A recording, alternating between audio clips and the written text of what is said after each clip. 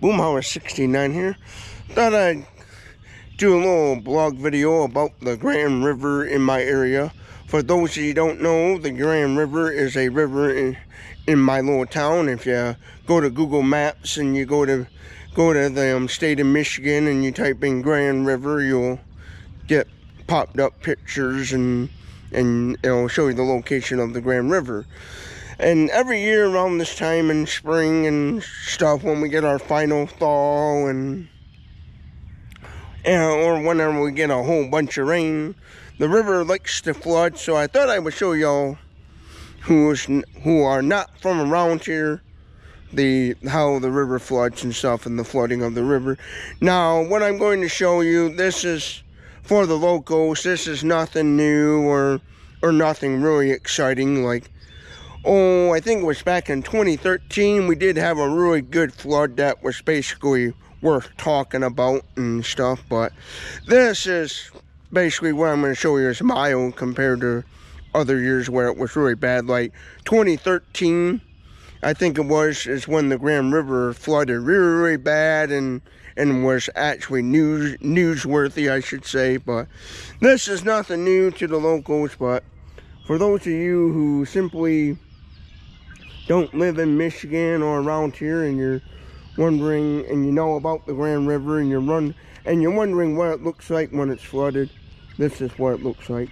Now this right here is simply a nature trail that I done videos about and I'll put links in the description for those videos so you can see what these nature trails look like. But currently, right now, it's all flooded out because the river is high right now and I think in a few days it's gonna crest and the water will go down and everything will go back to normal but for the locals this is nothing fancy nothing new. It's simply it, it happens and nobody right now what's happening is nothing fancy anyways but uh this little trail right here that's all flooded out due to the river actually has a um if you would walk this way actually has was able to walk this way anyways you would be able to go to a um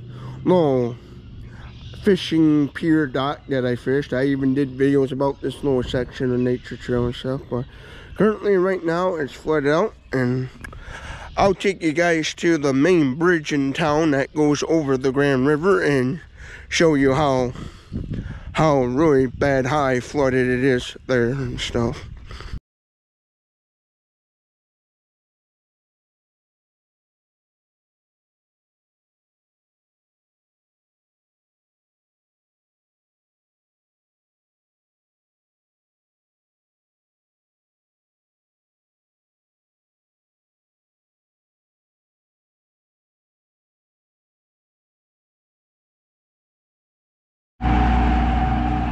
Right now I'm on the main bridge in town here. Um, this this is the main bridge that goes over the Grand River and here's the river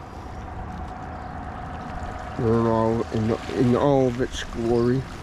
Oh, there's a big old log right there. But yeah, there's what it looks like. There's the actual um, little nature trail that you used to be able to walk and stuff but yeah. Oh after a while this river again will crest and go down. This is really around these parts again nothing really newsworthy or or anything like super wow.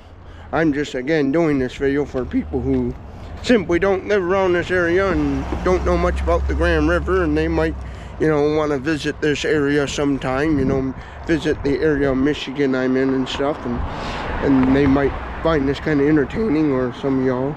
But to all the locals, this is nothing new and nothing great, you know, if you've been in this area as long as I have, you know this river does this every year. But.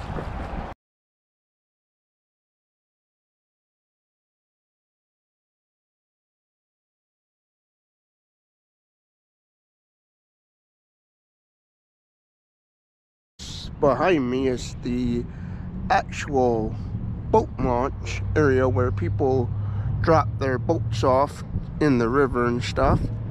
And this is how flooded it is.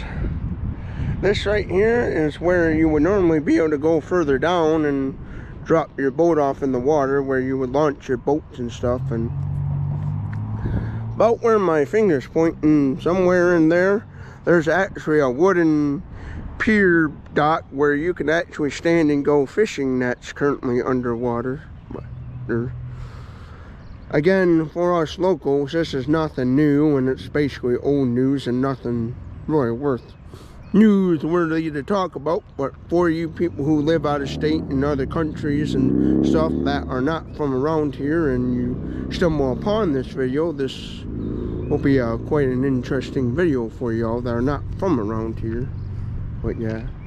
Again somewhere over there there's actually a fishing pier dot that's currently underwater but if you go back and check some of my videos I've done videos about this boat launch area. So if you go in my playlist and stuff and in my blog playlist you'll find videos about this boat launch area and what it looks like when it's not flooded out and stuff but yeah, there's a park bench over there. Almost underwater.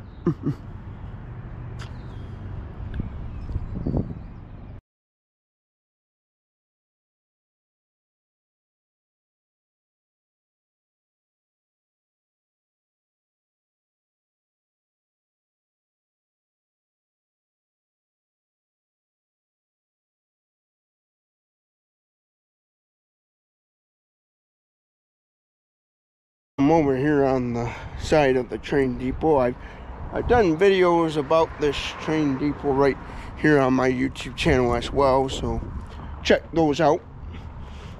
Um, this is the um, east side of the river now. This is actually, I was just over there is where the um, boat launch is. And then on this side right here is the train, I call it the train depot side. There's the other part of the little nature trail that I showed earlier. That's all flooded out. And there's a little walkway. And but here's another another view of the flooded river on this side here and how bad it is. Because right here is actually underwater, a little nature trail that you when it's not flooded out you can walk and walk to the other side to the boat launch and all that stuff that's flooded now. But yeah.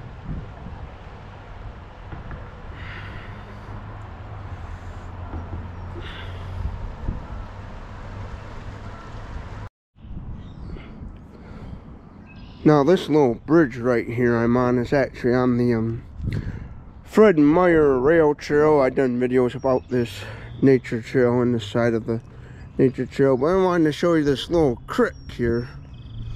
And that's how bad this little creek here has flooded due to the river and stuff. But show you the other side.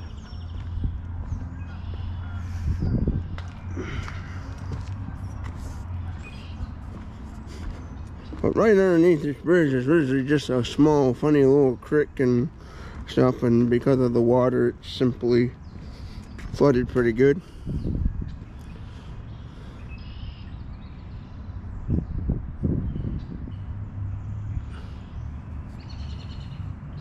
And I know this video will also be good for the people who used to live around here and moved away and and we'll probably bring back just some memories, you know.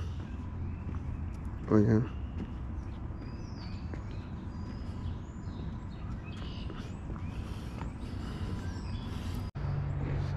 Thought this would be a good place to end the video. Don't forget to like, share, comment below and subscribe to Boomhauer 69 channel because you're gonna that will help me Boomhauer 69 and continuing continuing to make videos on YouTube and stuff. So don't forget to do all that stuff. hope you enjoyed this video. I had fun making it and stuff and hope you enjoyed it. Hope you learned something and if you're new to the area and you're wondering about how the river floods, well this is how it usually gets. It's really for locals it's nothing new or fancy or anything, but for you people that never been here or moved away or whatever the case may be, this might be an interesting video or you're somebody that might be interested in simply watching videos about flooded rivers and stuff. But there you go, another video for you all. Hope you all have a good day and thank you for watching Boomhauer 69's video.